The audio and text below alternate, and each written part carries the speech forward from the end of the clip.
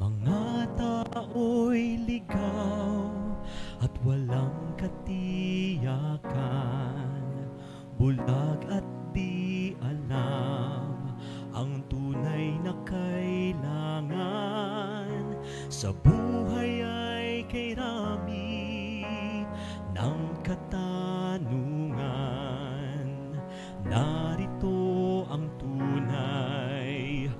Na kasagutan Makapangyarihan ang ngalan ni Kristo.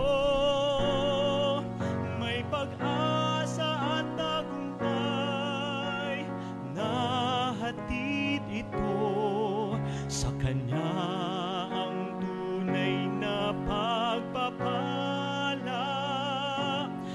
Mayroong lakas sa ngalan niya. Sa ating bansa'y kailangan ng kaligtasan.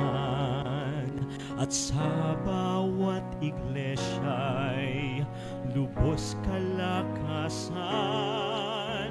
Sa ngalan lang ni Kristo mayroong kalayaan.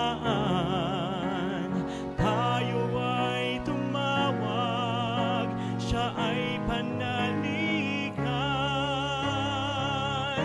Makapangyarihan